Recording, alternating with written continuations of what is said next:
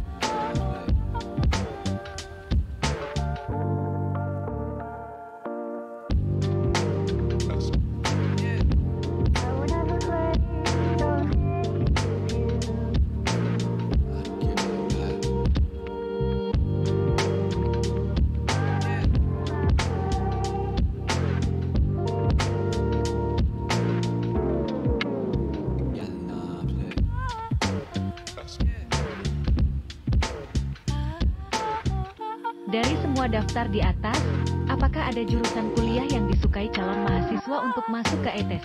E